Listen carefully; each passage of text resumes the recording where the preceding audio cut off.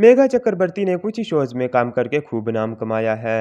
ये ज़्यादातर lead roles में ही नज़र आती हैं। तो चलिए जानते हैं मेघा चक्रवर्ती अब तक किन किन टीवी शोज़ और मूवीज़ में नज़र आई हैं।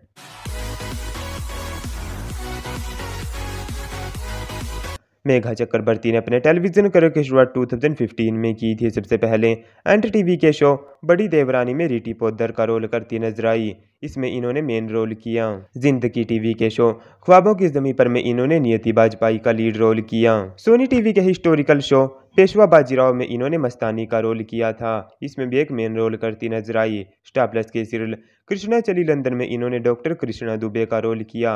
इसमें लीड रोल करती नज़र आई थी। सब टीवी के शो, काटेलाल एंड सन्स में इन्होंने गरिमा रूहैल की भूमिका निभाई है। इसमें भी ये लीड रोल ही करती नज़र आई हैं। मेघा चक्रवर्ती की मूवीज़ हैं, एक्शन, जिसमें कि इन्होंने रीनी की भूमिका निभाई थी, एक बंगाली मूवी थी।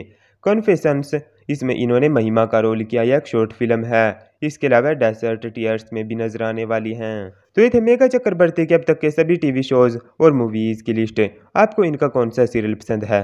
हमें बताइए नीचे कमेंट सेक्शन में इस वीडियो को लाइक कीजिए और चैनल को सब्सक्राइब कीजिए।